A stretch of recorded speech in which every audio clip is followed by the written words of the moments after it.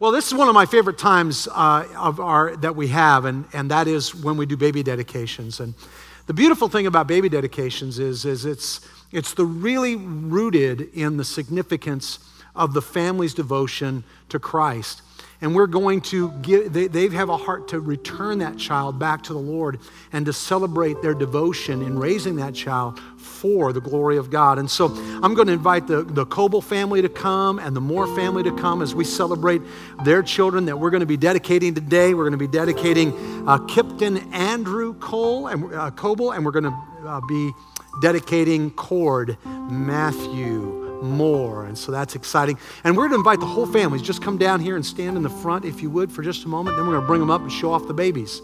Pray over them.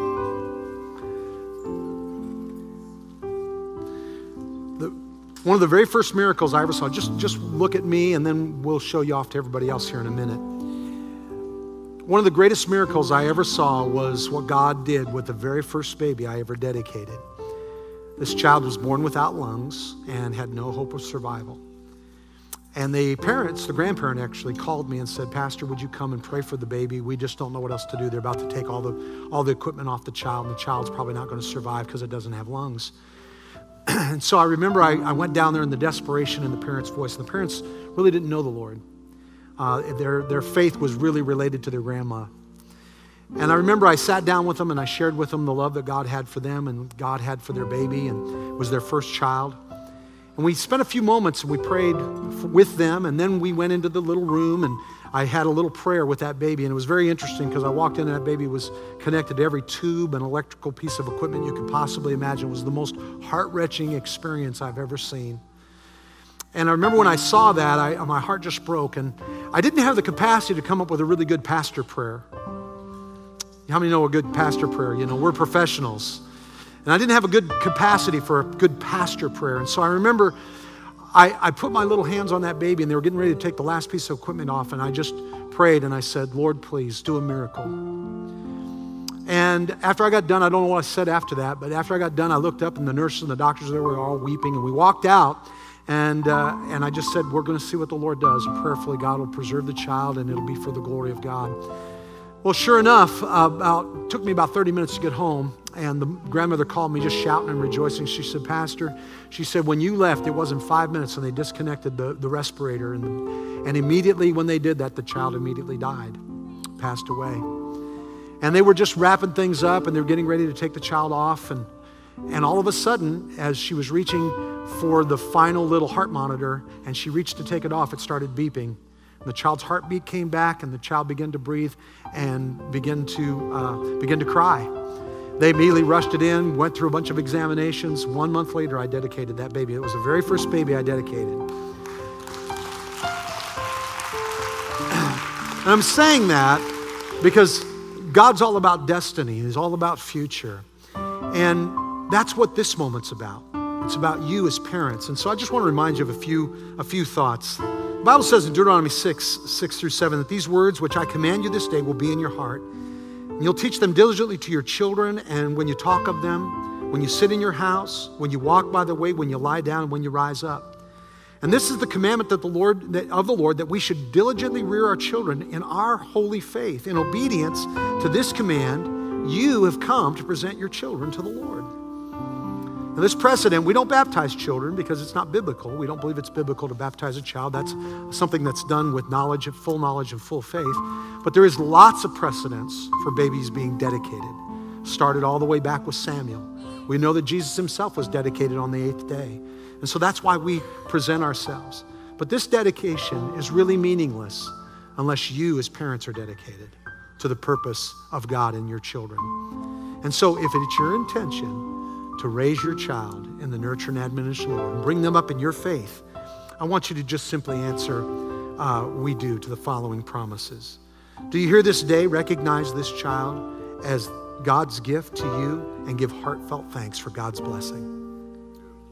Do you here this day dedicate your children to the Lord who gave them to you? Do you here this day pledge as parents that you'll bring your child up in the nurture and the admonition of the Lord?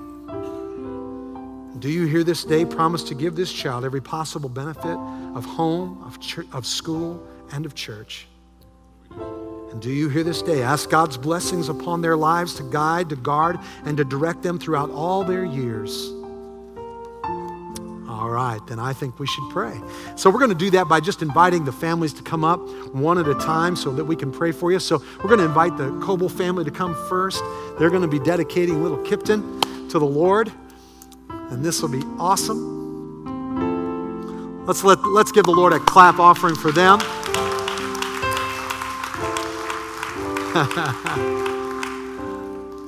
awesome. Joey and Chrissy. Look at this. Look at this precious guy. Let me can I get him? All right. Look at him. He's even got a bow tie on. I know those lights bother me too. Awesome. Look at that. Isn't he, isn't he handsome? Let's present him to the Lord together. Father, in the name of Jesus, Lord, we present Kipton to you in the name of Jesus. Lord, we bless him in his growth and his maturity, in his latent talents and abilities. Father, we trust you for the grace that is upon his life that you will keep him throughout all of his years. Father, I thank you that today your grace and your anointing is upon him.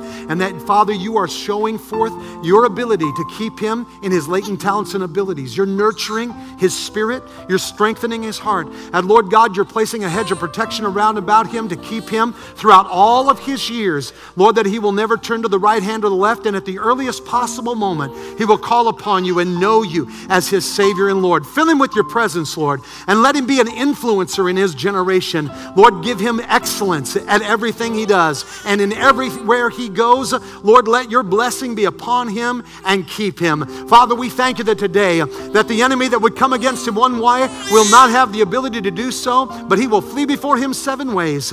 He is blessed as the head and not the tail, above only and not beneath. And Lord, we thank you for that grace that is upon him even now in Jesus' name. Hallelujah. Amen and amen. Good job. There he is. Now let's bless the Coble family together. Father, I thank you for Joey and Chrissy. I thank you for their hearts to serve you with their family. Lord, to celebrate who you are. Lord, to know your grace. And Father, I thank you, you're giving them wisdom and faith and understanding in how to minister to their children. Lord, how to develop the graces and the gifts that are in their lives. Lord, that you're giving them faith and understanding. You're giving them discernment and discretion. And Lord God, you are keeping them knit solidly with the foundation of love, and that this home, Father, will be filled with joy. And we thank you for that peace, that grace that's upon them even now. In Jesus' name, amen. Amen. God bless you guys. Congratulations. awesome. Let's let them know we appreciate them. Thanks, guys. Congratulations. All right, we got the Moore family. Let's let them know we love them.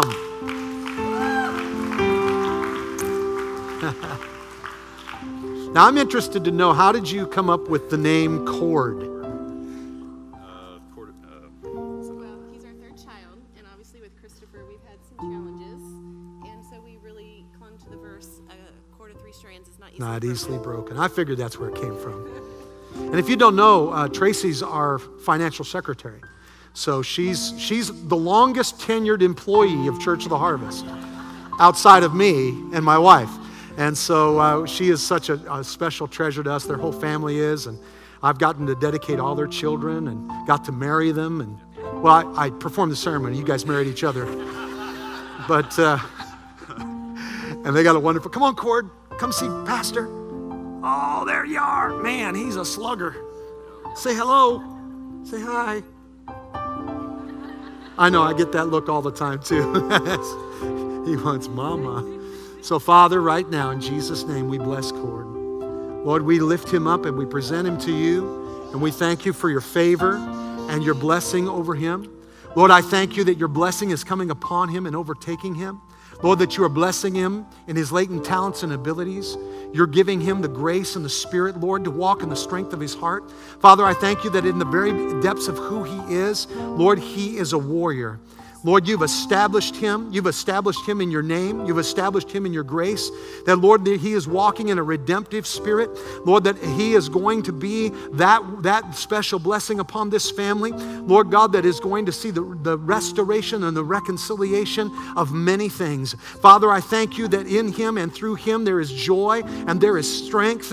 And Lord, you are blessing him as he comes out and as he goes in. At his earliest possible moment, let him call upon you and know you as Savior Savior and Lord. Father, fill him with your presence, fill him with your spirit, make him a prophet in his generation. And Lord, we thank you for that grace and your spirit of grace that is upon him even now. The enemy that would come against him one way is going to flee before him seven ways. Place a hedge of protection around about him. Let no evil come near him. And we thank you for that protection and we thank you for that peace. Lord, bless him indeed. Bless this family, Father. Lord, I thank you.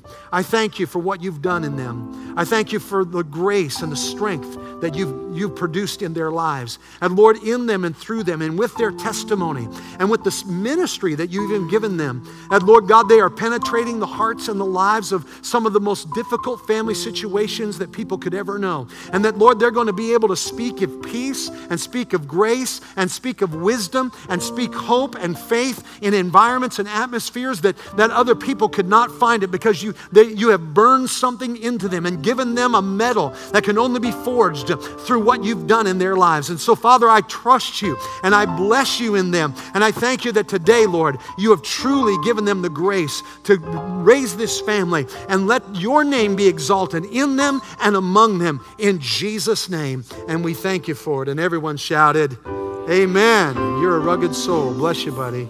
All right. Love you guys. Good job. Bye, Kaylin. Love you, honey. See you, Chris. You're doing good, man. Awesome. Love you guys. All right, let's get ready to get in the Word. Amen.